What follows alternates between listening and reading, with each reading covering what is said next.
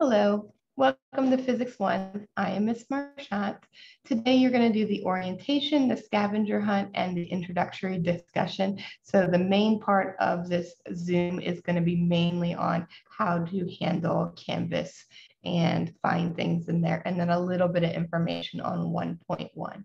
You do want to take notes on the textbook before I go over the content typically in class. That way you have some pre-reading there and it'll help jog your memory in a positive way.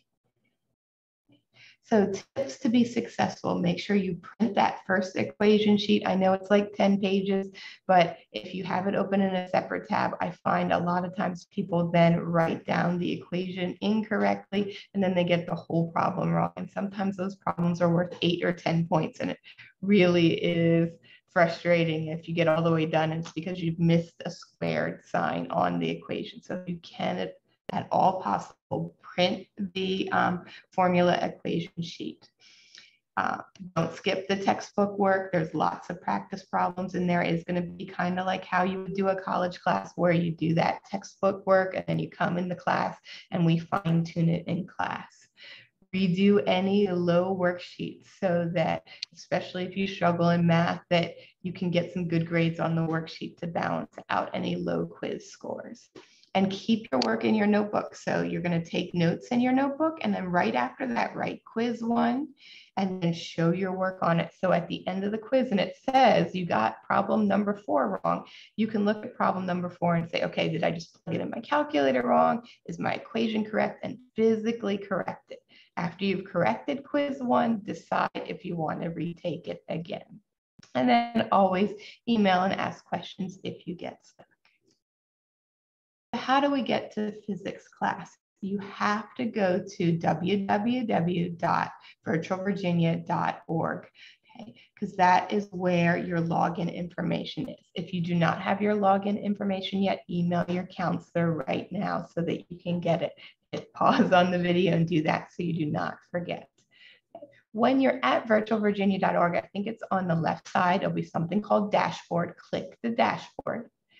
And then you have to scroll all the way down. So if you see right here, I have an example and all of the Spanish um, assignments are there. Plus, if there were additional courses, there'd be other. Um, you could have chemistry, you could have math. You'd have to scroll through all of that to get down to the bottom where it says academic snapshot. That is how you get to Canvas. You click on the link in the academic snapshot in dashboard. Now, some of you are going to go, oh, look, there's an academic snapshot on a separate page that is a different academic snapshot. It's just called the same thing. That will not get you where you need to go. You have to go to dashboard page all the way down and then click that physics course at the bottom. Okay? And that's going to bring you to your Canvas course. Do not bookmark that because it's going to lose your login information every day. Every day, go to virtualvirginia.org and then go to your Canvas class. That way, you are not um, missing where it is or losing data. Okay. And make sure you do know how to screenshot in the live session so that you have that as a reference, but then do add in any of those problems to your notes. All right, a lot of people like to just go to that to-do list, which is going to be over there on the right side. That is not going to be enough in physics class. Make sure you are going to go over to modules on the left side because that's where the textbook is and you will need the textbook to get through this course. Okay, and then the next day, always check your feedback, which shows up underneath the to-do list so that you can go, oh, that's what I did wrong. Maybe I should go ahead and retake it. Okay. There are formula sheets. This is what the formula sheet looks like, or one of the formula sheets. And it just gives you a lot of important information on there. You can also modify it if you've printed it out. So you can go, hey, wait, we also ended up using um, kilometers for length. So let me write over here that kilometers is sometimes going to be used for length, just so that you can always update that formula sheet so it has a complete package. And in fact, I still use my engineering training reference book. It's about a two inch thick book of just equations. I don't memorize all those as an engineer. I know I can always go to the book and find it. And so you'll also want to be able to go to your formula sheet and find the proper equation. You do not need to memorize any of those equations, but you need to be able to find them. So organization is critical.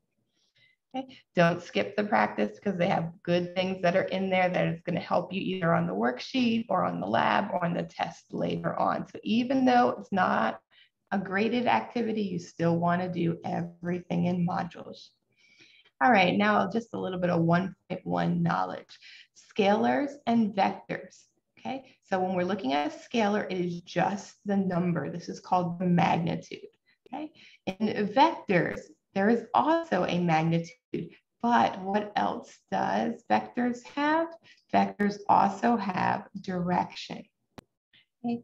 So when you're looking at something, if it has a number like 10 meters, that's a scalar. But if it says 10 meters west, then we know that we moved 10 meters west. And so that is a vector quantity when we're trying to determine things, okay, a scalar is path dependent. Okay, so if I walk to school two different ways, I have two different paths that I have to look at. But when I'm dealing with vectors, I only care about the starting and ending positions, F for final, I for initial or start. So the ending position minus the beginning position gives me my change in distance which is actually called displacement. Okay, so as opposed to the path dependent, maybe one day you take a shortcut to school and another day you have to walk around because something's blocking the alley you like to go through. So those could have two different distances to get to school. But in terms of the vector, there's still just going to be the starting and ending points that matter and subtracting them for the delta D. Okay, delta just means change. Um, in math, it is a Greek symbol of delta there. And here's just another little visual on that. Okay, who depends on initial and final displacement? Okay, vectors care about initial and final positions. Okay. If we're going initial and final distance, we would use that black arrows distance or length because that's giving us as the crow flies between the two. So when you initially look at Waze or something, it usually gives you the as the crow flies distance, the exact mileage to get from B from A. Okay. But that's not always what you can do. Sometimes you have to get on a highway you have to go something else. Sometimes your path is different. So that orange line is what the scalar quantity is, the path that it would be.